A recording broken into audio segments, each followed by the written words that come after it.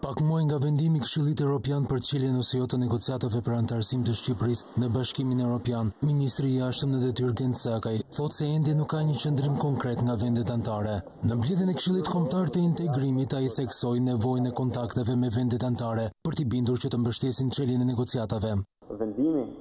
për shtyrjen e raportit nga ana e Komisionit jo detyrimisht do të manifestohet në shtyrje të vendimit politik për hapje të negociatave. Ajo çka ne mbesim shpresëplotë është që vullneti i vendeve të Këshillit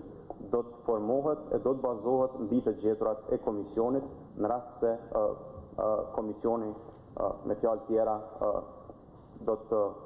rekomandon hapje të pakushtëzuar të negociatave bazuara në meritat e Shqipërisë, presim që vendimi i Këshillit të jetë i bazuar pikërisht mbi këto konsiderata. Zëvendëskryetari i Këshillit Taulant Balla theksoi se Kuvendi duhet të përqendrohet tek mbikëqyrja e reformave që lidhen me pesë prioritetet për hapjen e negociatave. Jemi të gjithë vetëdijshëm për rëndësinë e momentit aktual të procesit të integrimit